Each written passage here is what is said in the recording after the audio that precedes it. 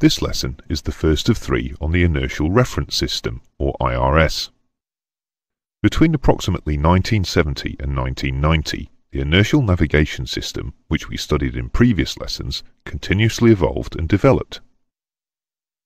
Instead of having a single standalone system with its own present position display, it became normal to have two or even three inertial sensors which pass their outputs to a central computer. Each of these inertial sensors is called an inertial reference system, and its outputs go to the flight management computer. The term inertial reference system, as opposed to inertial navigation system, is usually used if the reference datum is a ring laser gyro instead of a spinning disk type of tuned rotor gyro. We'll look at how a ring laser gyro works shortly. There are three main characteristics which define what we now call an IRS, which make it recognizably different from a first-generation standalone INS. These are greater system integration, use of ring laser gyros, and much greater computer power. We'll look at each one of these in turn to see what has changed over the last 20 to 30 years.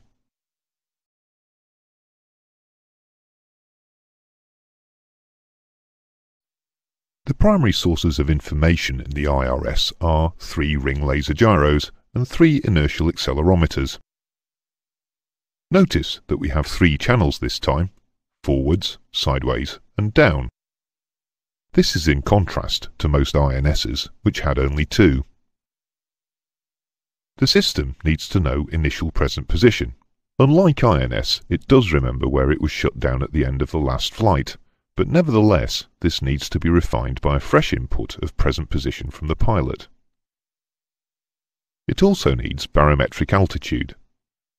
As we just said, there is a vertical accelerometer and a vertical channel. However, on its own, the vertical channel is too unstable. The vertical accelerometer picks up the instantaneous changes, but the barometric information stabilizes the vertical velocity and altitude outputs. Other than that, all we need is TAS from the air data computer. As with the INS, TAS is needed in order to be able to compute wind velocity. Let's look at the outputs of an IRS and see how they compare with a traditional INS. This is an inertial reference unit. It provides the outputs for the aircraft's avionics. Firstly, it gives primary pitch and roll attitude. That was also provided by the INS. It gives both true and magnetic heading. We're already familiar with the idea that inertial systems operate in true because they align themselves by detecting Earth's spin. The INS gave us true heading. However, whilst the IRS navigation and computing is all carried out in true, Normal aviation practice is to use magnetic directions for all air traffic control instructions and airways information. Pilots therefore need to know their magnetic heading. The IRS, being more modern than the INS, has a greater computer memory. This allows it to have a database of latitudes and longitudes throughout the world, and the magnetic variation associated with each point but variation changes rapidly near the magnetic poles, and the information becomes unreliable. The calculation of magnetic heading is therefore limited to latitudes of, typically between 73 degrees north and 60 degrees south. Above these latitudes, only true heading is available. Acceleration is measured in the longitudinal, lateral and normal sense, in other words, forwards, sideways and down. Note that, unlike INS, we now need three accelerometers, not two. Also, notice that the horizontal accelerometers are not north and east this time. They are longitudinal and lateral. The IRS gives angular rates of pitch, roll and yaw, just as the INS did. And it gives inertial velocities north-south, east-west and ground speed, as the INS did. However, it also gives baroinertial vertical rate. The IRS gives latitude and longitude position information as the INS did. But it also gives a baroinertial altitude. It gives wind speed, wind direction and drift as the INS did. From this raw data, it calculates various items of secondary data which are used in the flight management system and the electronic flight instrumentation system, both of which we will cover later. Looking at the full list, the biggest changes to notice are the vertical channel and the availability of magnetic heading.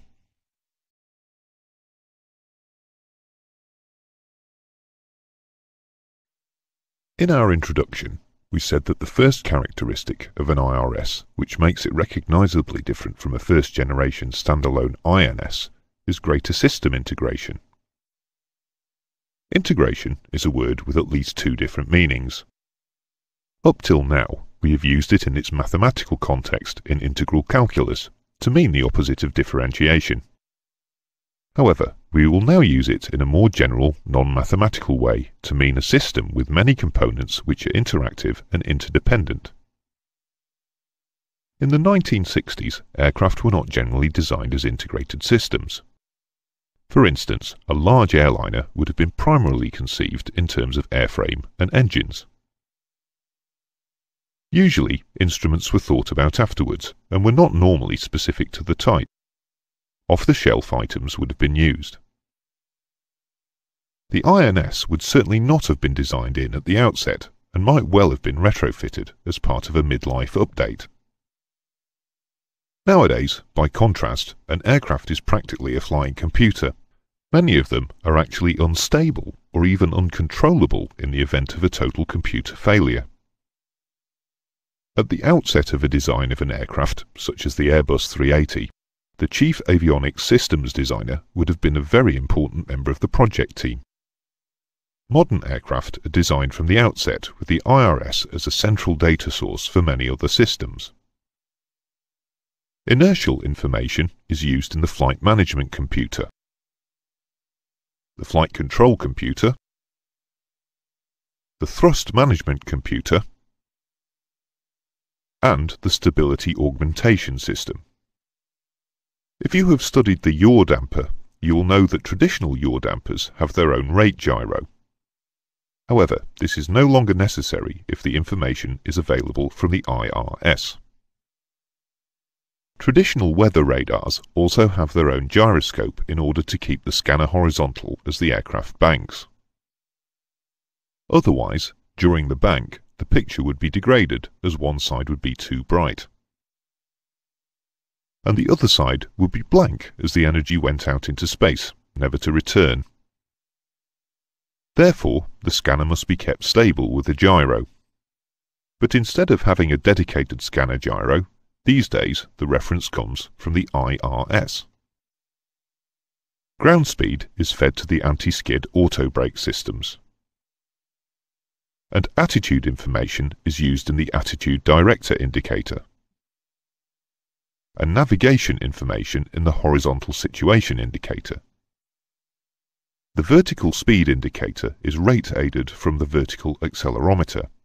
This is sometimes called an inertial lead unit and all attitude, acceleration, velocity and position information is, of course, continuously fed to the flight data recorder.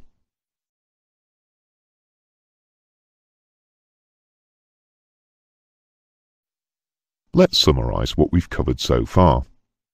There are three main characteristics which make an IRS recognizably different from a first-generation standalone INS.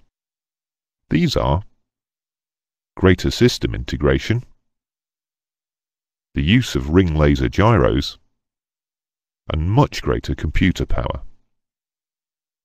The outputs of the IRS are broadly similar to those of the older INS, but with the addition of a vertical channel and a magnetic database. Modern aircraft are designed with the IRS at the heart of an integrated avionics system, which avoids duplication of sensors such as auxiliary gyros and other less accurate data sources. The next lesson will go on to consider the ring laser gyro.